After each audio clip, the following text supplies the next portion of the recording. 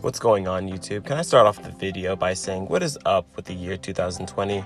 First we have North Korea, South Korea attacking each other. And speaking of Korea, Kim Jong-un decides to rise up from the dead after three weeks. Where has that guy been? Everyone throwing around the office Asian surgeon guy meme. Also Kobe passing away along with his daughter. Currently in quarantine right now due to the coronavirus. And now this, swarms of murder hornets. Simpsons was right yet again. Anyways, you're watching Top 10 Craziest Facts About Murder Hornets. Let's jump right into it. Starting off with number 10, their size. The Murder Hornet Queen is rocking a whopping 2 inches long. That's the same size as my, well, pinky. To put in perspective, a normal bee will range from 1 to 1.4 centimeters long, that's three to four times bigger than a normal bee. That's crazy. I would be absolutely horrified to see one of those a-holes in person. Number 9. Since we're already talking about size and length, let's talk about girth. Just kidding. Let's talk about their stingers. Since we know the body of these things are enormous as it is, we can only assume the stinger is too. The stinger is measuring at a quarter of an inch, and if I'm doing my math right, that should be about half the size of a normal bee. Imagine that. Number 8. Their intelligence. These are not your normal insects. These buggers are smart. I would not be surprised if these murder hornets have the same or even higher IQ than you flat earth believers. Just playing. Murder hornets place a form of tracker on their target and release a scent that alerts the other hornets that this bee nest this target is the best one to attack. Working together with one goal in mind, they are able to take a whole nest in an hour and a half. Number 7. Getting stung. Getting stung is never fun. You never hear anyone asking or begging to be stung by a bee. That's just. Well, that's just weird. Even more with a murder hornet. Evidence with survivors say that it feels as if they were being stabbed by a hot metal.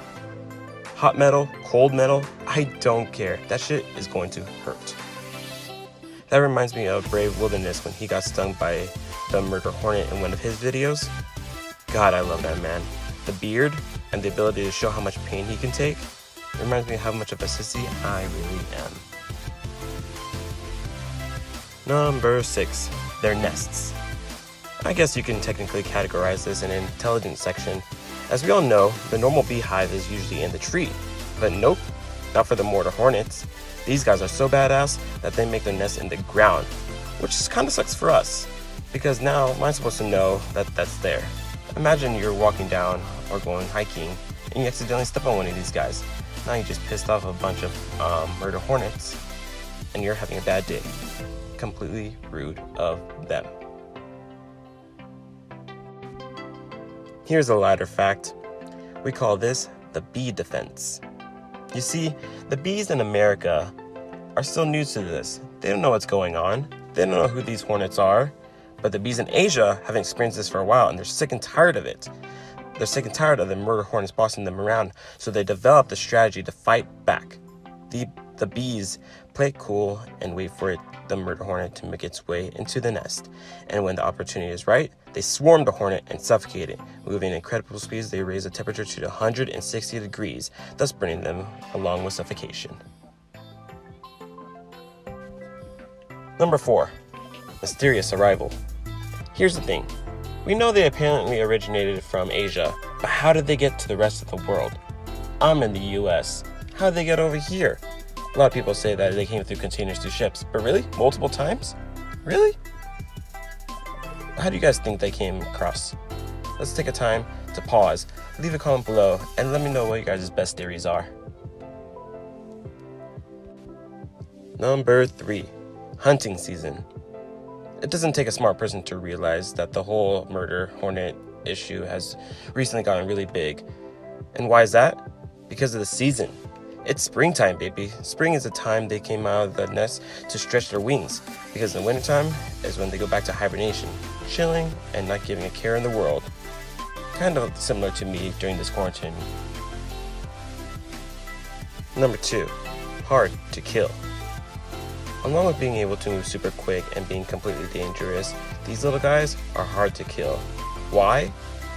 Maybe because there's a whole bunch of them, but in Japan, locals are tried to kill them by means of fire, water, smoke, poison, and even welding. That's right, you heard me correctly. Welding. And don't ask me who, because I don't know whose bright idea was trying to weld that in the first place. Thank you for sticking around for this long. Now, the moment you have all been waiting for. Number one How they hunt. The murder hornets are aggressive and take what they want. Just like I mentioned before, the hornets will come in in swarms and attack the beehive, wiping out the hive in an hour to an hour and a half. Once they have taken the castle, they occupy the hive for about a week, stealing all the honey, eating all the babies, and decapitating all the bees. It's kind of messed up, but at the same time, pretty badass if you think about it. And that wraps up our top 10 craziest facts about murder hornets. Please don't forget to like and subscribe, and I'll catch you on the next one.